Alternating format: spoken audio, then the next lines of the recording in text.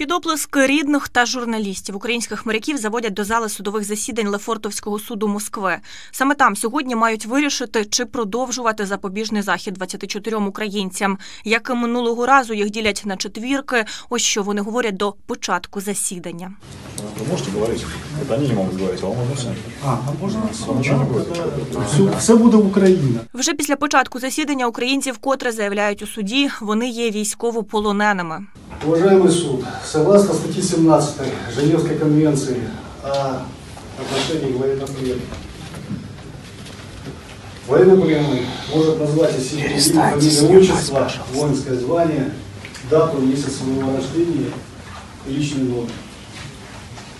Место своего рождения указывать не будет. Адвокат Сергій Бадамшин говорить, станом на 12-ту годину на засіданні вирішували підсудні справи. Рідних, які приїхали на засідання, з зали попросили вийти. Сейчас по четверкам точно так же. Первые три четверки, потом вторые три четверки. Закрытое судебное заседание. Конечно, сначала пускают, потом просят всех удалиться.